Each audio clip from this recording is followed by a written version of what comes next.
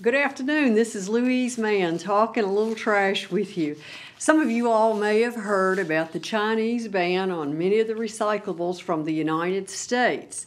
The Chinese have kind of had it with our trash recyclables. They'll be banning several grades of plastic and some papers. Um, some folks may be telling you that the Chinese ban has to do with markets. Well, I'm sitting here with the WTO, the World Trade Organization memo, and I wanted to read to you the objectives and rationale for the ban.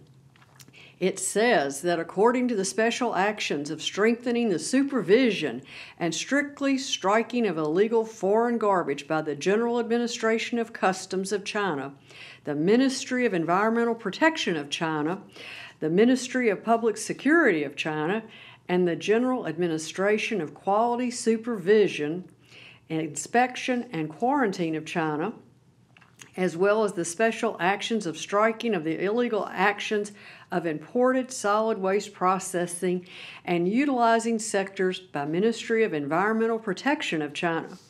Here's where it gets to why they why they put the ban on some of our stuff. We found that large amounts of dirty waste or even hazardous waste are mixed in the solid waste that can be used as raw materials.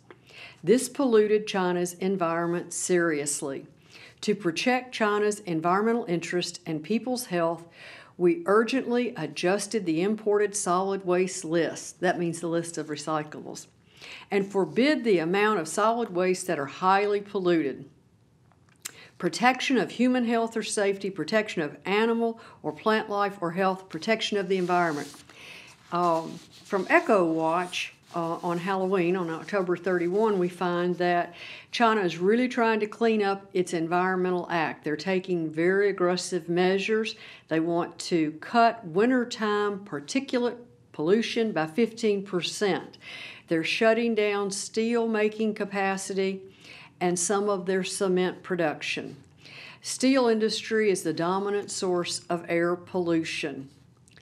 This uh, is a five month shutdown, though the plan creates a new joint environmental protection bureau covering Beijing and the two surrounding provinces and ratchets up enforcement of industrial emission norms.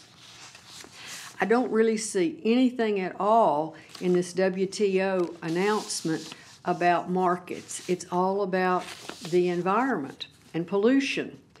So if you're wondering what kind of things they're going to be banning, well, that seems to be a moving target. But from Recycling Today on October, I think it was the 20th, they say the five agencies, and I read all those a minute ago, say that in efforts to comply with the Basel Convention on the control of transboundary movements of hazardous waste and their disposal, China's Environmental Pollution Prevention and Control Law for solid waste and other Chinese government measures have targeted 24 items that they're going to move from being restricted to outright prohibited, and those will include eight types of post consumer plastic scrap, one type of unsorted scrap paper, 11 types of used or scrap textile materials, and four types of metal slag.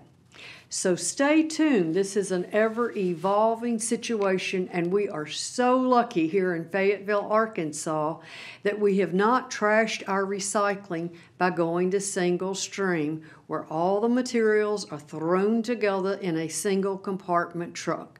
By keeping our items separate, we keep our contamination rate in the single digits, probably around 3%.